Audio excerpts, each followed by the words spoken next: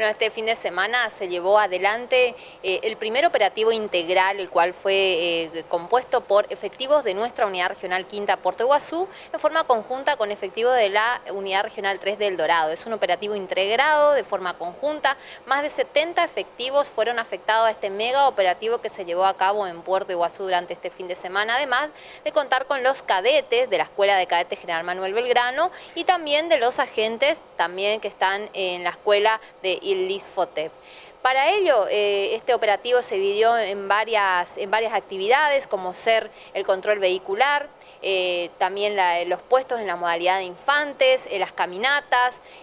con el uso de motocicletas, cuatriciclos, los equinos, y además de los móviles policiales. En esta oportunidad y para finalizar este fin de semana este operativo, tuvo como resultado final el labrado de 50 actas de infracción en todo lo que fue este mega operativo por infracción a la Ley Nacional del Tránsito. Además se han aplicado todas las leyes legales en vigencia, me refiero también a la ley de estupefaciente, con el fin también de prevenir delitos la comisión de delitos contra la propiedad. Se han procedido al secuestro de 36 motocicletas,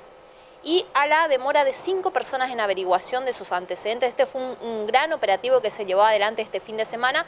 continuando además de los operativos de nocturnidad que continuaron de cierre y apertura de locales bailables en todo el ámbito jurisdiccional de nuestro comando regional. Siguen también de forma constante y permanente los operativos de, rutina en, lo que es en rutas provinciales y nacionales. Todo se debe a, lo que es el gran paso de turistas por nuestra ciudad de las cataratas y es por ello también llevándole la recomendación acerca de cómo son nuestras rutas misioneras y es por ello que se, eh, constantemente se llevan adelante estos operativos en todo el ámbito de nuestro comando regional.